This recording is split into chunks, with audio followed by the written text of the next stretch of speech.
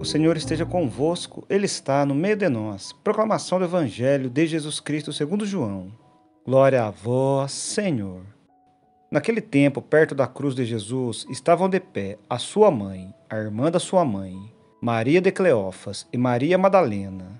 Jesus, ao ver sua mãe e ao lado dela o discípulo que ele amava, disse à mãe: Mulher, este é o teu filho. Depois disse ao discípulo: Esta é a tua mãe. Daquela hora em diante, o discípulo a acolheu consigo. Depois disso, Jesus, sabendo que tudo estava consumado, e para que a escritura se cumprisse até o fim, disse: Tenho sede. Havia ali uma jarra cheia de vinagre. Amarraram numa vara uma esponja embebida de vinagre e levaram-na à boca de Jesus. Ele tomou o vinagre e disse: Tudo está consumado. E inclinando a cabeça, entregou o Espírito. Era o dia da preparação para a Páscoa. Os judeus queriam evitar que os corpos ficassem na cruz durante o sábado, porque aquele sábado era dia de festa solene. Então pediram a Pilatos que mandasse quebrar as pernas aos crucificados e os tirasse da cruz.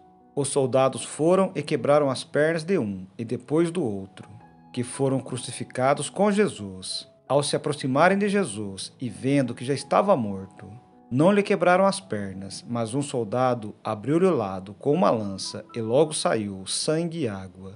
Palavra da salvação. Glória a vós, Senhor. Que as palavras do Santo Evangelho perdoem os nossos pecados.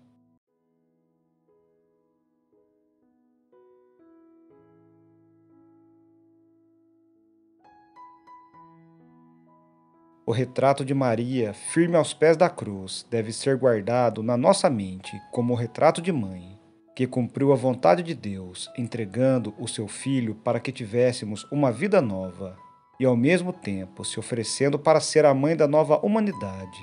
Que grande bênção para nós a de termos sido entregues a Nossa Senhora pelo seu próprio filho, quando estava aos pés da cruz em Maria, todos nós somos também cheios de graça, pois ela é a distribuidora das graças que seu Filho derramou na cruz. Foi na cruz, como numa cátedra, que Jesus pronunciou as suas últimas palavras, que revelou a sua sede de nós, que perdoou aos seus algozes e verteu sangue e água do peito para nos lavar e purificar, e ao mesmo tempo nos revelar a grande graça de nos dar a sua mãe para que possamos seguir o seu exemplo de santidade. Somos filhos e filhas de Maria, nunca poderemos negar a nossa filiação. E assim como São João a levou para sua casa, nós também a trazemos junto de nós, no nosso coração, na nossa casa, na nossa família, como aquela que organiza a nossa vida e nos ensina a fazer tudo o que Jesus nos manda fazer. Maria, Mãe de Jesus, Mãe da Igreja, rogai por nós. Um santo dia para vocês, meus irmãos. Fiquem todos na paz.